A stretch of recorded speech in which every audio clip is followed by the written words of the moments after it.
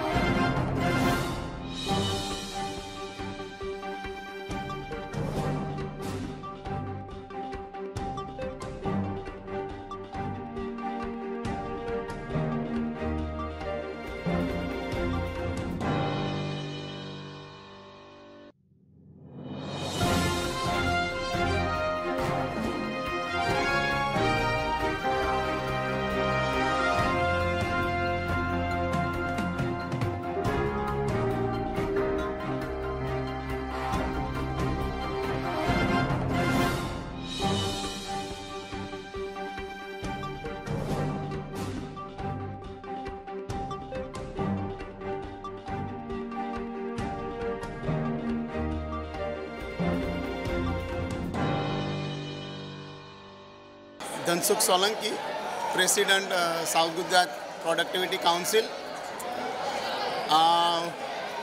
Productivity week અમારું બારથી અઢાર ફેબ્રુઆરી દરમિયાન અલગ અલગ એક્ટિવિટીઝ અમે કરતા હોય છે. આ વખતે જે અલગ અલગ ફાયરના જે પ્રોબ્લેમ ઊભા થયા છે, તક્ષશિલા પછી ત્યારબાદ આપણો જે રિંગ રોડ પણ એક માર્કેટમાં જે ફાયરનો પ્રોબ્લેમ હતો. એટલે અમે એવું નક્કી કરેલું હતું કે આપણે કેવો ફાયર વિશેનું અવેરનેસ કાર્યક્રમ રાખીએ અને એના માટે ડિઝેબલ વેલફેર ટ્રસ્ટના માનનીય ડૉક્ટર કનુદાદાએ અમને સાથ સહકાર આપ્યો કે ભાઈ અમારે ત્યાંથી કરો.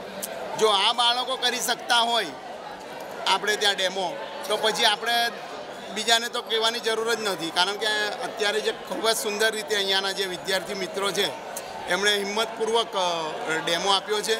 અને અમને પણ એ માટે પ્રેરિત કર્યા અને ખૂબ જ સરસ અનુભવ રહ્યો અમને કે ભાઈ આ ગમે તેવા પણ આપત્તિ આવતી હોય કે કંઈ પણ સ્થિતિ હોય છે, તેમાં આપણે રેસ્ક્યુમાં આગળ આવવું જોઈએ.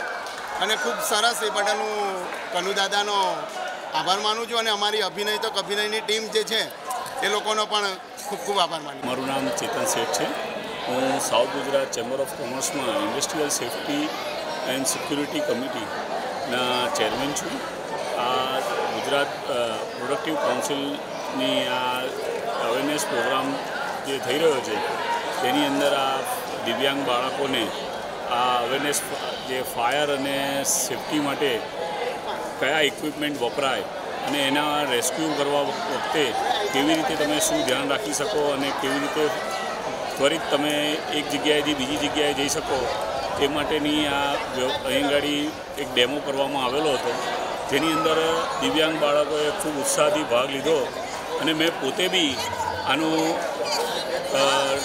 આની ઉપર ટ્રાય લીધી અને મને ખૂબ સરસ અનુભવ થયો કે બહુ ઇઝી અને સારા વેમાં આપણે નીચે આવી શકીએ છીએ.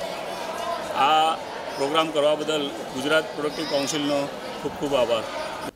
આજરોજ દિવ્યાંગ બાળકોની શાળામાં સાઉથ ગુજરાત પ્રોડક્ટિવિટી કાઉન્સિલ અંતર્ગત જે નેશનલ પ્રોડક્ટિવિટી વીકની ઉજવણી કરવામાં આવે છે, ભારતભરની અંદર બાર ફેબ્રુઆરીથી અઢાર ફેબ્રુઆરી એ નેશનલ પ્રોડક્ટિવિટી વીક તરીકે ઉજવવામાં આવે છે. અને તે અંતર્ગત અમે આજે વિકલાંગ બાળકોની શાળામાં ફાયર એન્ડ ઇમરજન્સી રેસ્ક્યુ નામનો એક પ્રોગ્રામનું આયોજન કર્યું હતું. આપણે જોઈએ છીએ કે સુરતમાં તાજેતરમાં ઘણા બધા ફાયરના બનાવો બની ચૂક્યા છે. જેની અંદર મહાનગરપાલિકા તેમજ ફાયર ડિપાર્ટમેન્ટ ખૂબ સારી એવી કામગીરી કરતા હોય છે. પરંતુ જો આપણે જાગૃત થઈએ, નાગરિકોને પણ જો આ રીતની ટેકનિકલ ટ્રેનિંગ આપવામાં આવે અને જો એ લોકોને, એ લોકો પણ પોતે જો આની અંદર કાર્યરત થાય, તો એ લોકો પણ કોઈકનો જીવ બચાવવામાં અને ફાયર ડિપાર્ટમેન્ટને મદદરૂપ થઈ શકે. એક પેરેલલ એ લોકોની સાથે મદદરૂપ થઈ શકે એવું બની શકતું હોય છે. એના માટે આજે એ લોકોને માઉન્ટેનિયરિંગ ઇક્વિપમેન્ટ્સનો ઉપયોગ કરીને રોપ્સ, કેરાબિનર્સ વગેરે જે માઉન્ટેનિયરિંગ ટેકનિકલ ઇક્વિપમેન્ટ હોય, એનો ઉપયોગ કરીને કઈ રીતે આવા આપાતકાલીન સમયમાં પોતાનો તેમજ બીજાનો જીવ બચાવવો, તે માટેની ડેમોન્સ્ટ્રેશન અને ટ્રેનિંગ આપવામાં આવેલી હતી. આજે આમ જોવા જઈએ તો તમામ માઉન્ટેનિયરિંગ ગેજેટ્સનો ઉપયોગ કરવામાં આવેલો હતો, જેમાં પ્રાથમિક રીતે રોપ એટલે માઉન્ટેનિયરિંગ રોપ, જેને આપણે દોરડા તરીકે ઓળખીએ છીએ, તેનો ઉપયોગ કરવામાં આવેલો. જે સામાન્ય રીતે નાયલોનના બન્યા હોય છે, એમાં ઇન્ડિયન રોપ્સ આવે છે ઇન્ટરનેશનલી ફોરેનના પણ રોપ્સ આવે છે, જેની ઇલાસ્ટિસિટી અલગ અલગ હોય છે, જેની સાઇઝ એટલે કે એમએમની અંદર આપણે માપી શકતા હોઈએ છીએ તો છ એમએમ આઠ એમએમ દસ એમએમ બાર એમએમ એ રીતે વિવિધ પ્રકારના અલગ અલગ રોપ હોય છે. તો આપણે અહીંયા આજે ચાર એક્ટિવિટી કરેલી અને એમાં એક્ટિવિટી પ્રમાણે અલગ અલગ સાઇઝના અને અલગ અલગ જાડાઈના રોપની ઉપયોગ કર્યો હતો. ત્યારબાદ કેરાબિનર્સ વાપર્યા હતા પુલીસ વાપરી હતી. તે ઉપરાંત જો આપણે વાત કરીએ તો એસેન્ડર્સ ડિસેન્ડર્સ રેસ્ક્યુ ડિવાઇસીસ અને સાથે સાથે ઘણી બધી પ્રકારની અલગ અલગ જે પણ માઉન્ટેનિયરિંગ માટે ઉપયોગી સામગ્રીઓ હોય, નાની મોટી, જેમ કે મિટન્સ છે રોપને ડેમેજ ન થાય તેના માટે પેડિંગ હોય હેલ્મેટ હેલ્મેટ્સ હોયની પેડ્સ હોય, તો એ પ્રકારની જ્યાં જ્યાં જરૂરિયાત જણાતી હોય, તે જગ્યાએ અમે લોકો આ પ્રકારના સામગ્રીઓનો ઉપયોગ કરતા હોઈએ છીએ. તો શું આપણને એ વસ્તુનું ધ્યાન છે ખરું? કે જો સુરત શહેરમાં કે કોઈ કશે પણ જગ્યા પર આવી કોઈ ઘટના બને અને આ રીતનું ફાયરથી એ લોકોને આ ઇમરજન્સી રેસ્ક્યુથી બચાવવાનું હોય, તો શું ગુજરાતની ફાયર વિભાગ ફાયર વિભાગ સોરી શું ગુજરાત, ગુજરાતના ફાયર વિભાગ પાસે આ બધા પ્રોડક્ટ છે ખરા અવેલેબલ ચોક્કસપણે ગુજરાત ફાયર ડિપાર્ટમેન્ટ પાસે આમાંના અમુક પ્રોડક્ટ્સ છે, પણ સંપૂર્ણ બધા જ પ્રોડક્ટ્સ નથી હોતા.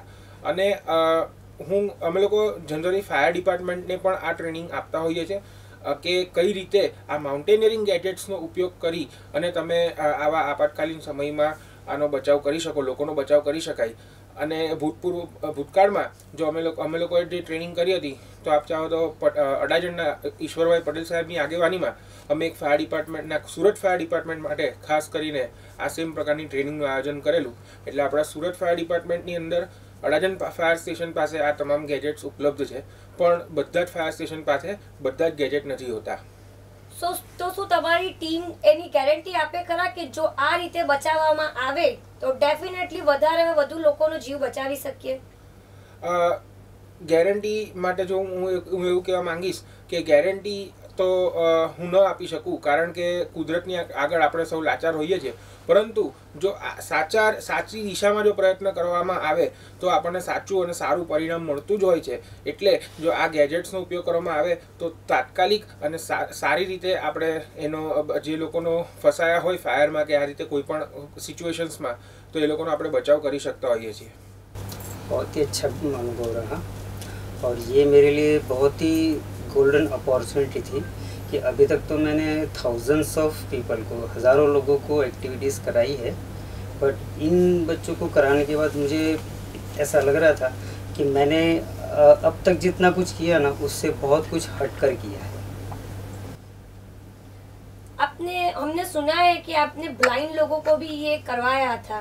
तो ब्लाइंड और दिव्यांग जो फिजिकली दिव्यांग दिव्यांग है हम्म। तो वो दोनों में तकलीफें सेम थी या अलग थी नहीं नहीं ब्लाइंड के लिए इतना डिफ़िकल्ट नहीं था बिकॉज़ उनके हाथ और पैर दोनों मूव कर सकते थे इनके लिए थोड़ा इम्पॉसिबल जैसा लग रहा था बट जब किया तो उसके बाद लगा कि नहीं ये हमको बहुत पहले कर लेना चाहिए था क्योंकि ये अपॉर्चुनिटी यहाँ के बच्चे दिव्यांग जो बच्चे हैं डिजेबल चिल्ड्रन उन्होंने बहुत पहले कर लेना चाहिए और ये अपॉर्चुनिटी मिस की थी राम भैया आपके मत अनुसार कभी कोई दिव्यांग है उसको माउंटेन पे जाना है तो वो पॉसिबल है या नहीं है हाँ पॉसिबल है और वो कर भी सकते हैं और कई ऐसे लोग हैं जो माउंटेन नहीं एवरेस्ट तक क्लाइम कर चुके हैं નેચર ક્લબ ઘણી બધી પ્રવૃત્તિઓ કરતી હોય છે પણ લોકોના મગજમાં એવું છે કે ખાલી પ્રાણી પક્ષી બચાવવા પૂરતું જ હોય છે. પણ આપણે આખું પર્યાવરણ બચાવવા માટેનું કામ કરતા હોઈએ છીએ